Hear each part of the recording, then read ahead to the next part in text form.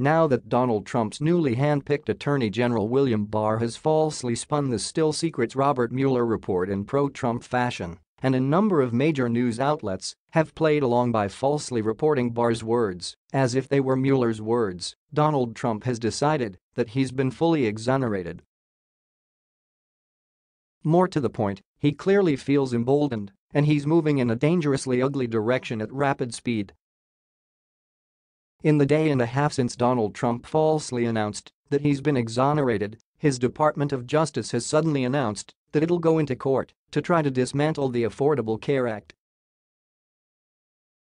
Trump's Pentagon has suddenly announced that it's found $1 billion for Trump to begin building his border wall.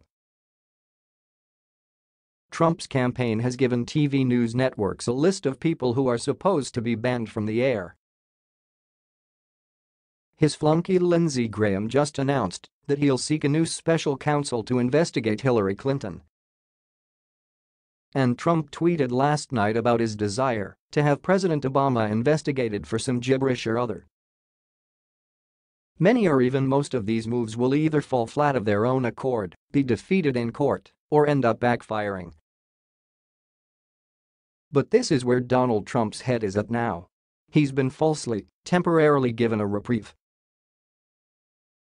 Instead of using this window of opportunity to try to make something of his failed presidency, he's decided to use it to pander to his base and seek petty revenge on those who have dared to expose his corruption. It's as if Trump has decided to try to prove to mainstream Americans that he's every bit as awful as they've always believed. What's not clear is if Donald Trump truly thinks that William Barr's cartoonish stunt has actually gotten him off the hook for his endless list of criminal scandals, or if Trump understands that Mueller's report will surface and destroy him eventually.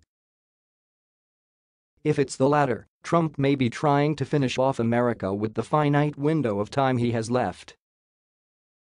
House Democrats will have their hands on the Mueller report before much longer because they've never had a larger priority. These next weeks may be among the most important and perilous in American history.